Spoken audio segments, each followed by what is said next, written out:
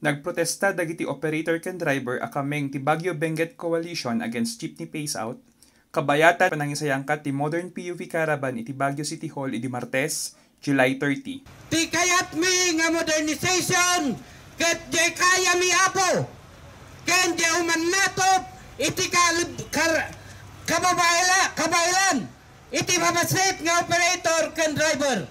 Uray yun na kita nagpipintas ditoy nga nagngingina hami nga kaya.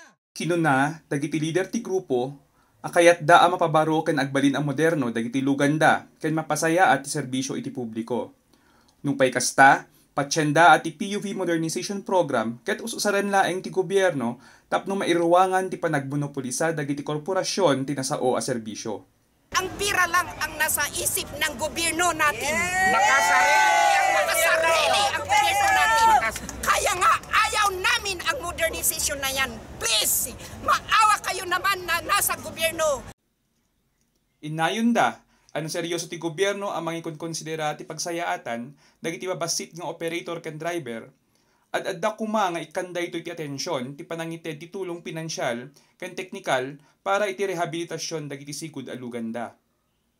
Ang gusto po namin kung anong sira yung sasakyan namin, i-modernize natin na kung makina, makina lang po ang papalitan na hindi buong unit. unit. Tinawat da kadagiti opisyal at tulungan dagiti lokal nga agmanmanupaktura ti jeep.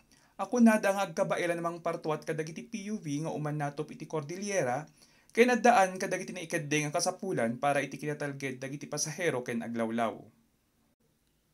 Kinasao a grupo nga addaan 25 ket lima akameng nga organisasyon dagiti operator ken driver ket nang isubmitar iti position paper ken ni Baguio City Mayor Benjamin Magalong kalpasan tin sayang katta a programa. Ang organization sa Baguio, retain, remain our units. We will really improve our units. That's all. Thank you.